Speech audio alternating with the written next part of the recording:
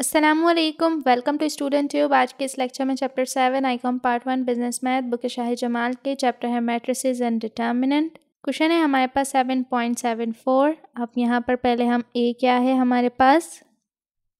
Two one five two X is equal to X and Y and B is equal to nine and four so सबसे पहले ए determinant find करेंगे तो ये हो जाएगा two five one two so two multiply by two minus one multiply by five so two two ज़ा four minus five one ज़ा five so ये हो गया माइनस का one now adjoint of A तो एडजॉइंट ऑफ़ ए हो जाएगा हमारा minus five minus one and two two ठीक है?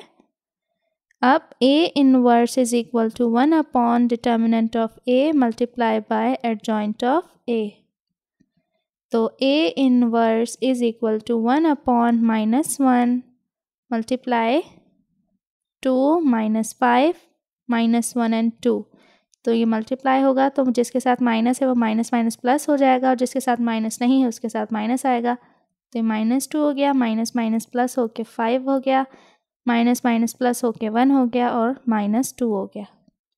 तो ये आ गया ए इनवर्स का आंसर अब हमने क्या करना है? As X is equal to A inverse multiply by B करना है तो एक्स क्या होता है? एक्स एंड वाई और ए इनवर्स आया है हमारे पास minus two five one and minus two और बी है हमारे पास नाइन एंड फोर तो इन्हें मल्टीप्लाई करेंगे।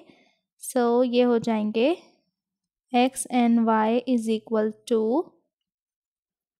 minus 2 multiplied by 9 plus 5 multiplied by 4 1 multiplied by 9 plus minus minus 2 multiplied by 4 so ये हो जाएँगे 9 टू ज़ा एटीन माइनस का प्लस फाइव फोर ज़ा ट्वेंटी, नाइन वन ज़ा नाइन माइनस टू फोर ज़ा एट। सो ट्वेंटी और ये माइनस का एटीन है तो ये हो गए टू और nine minus eight is one.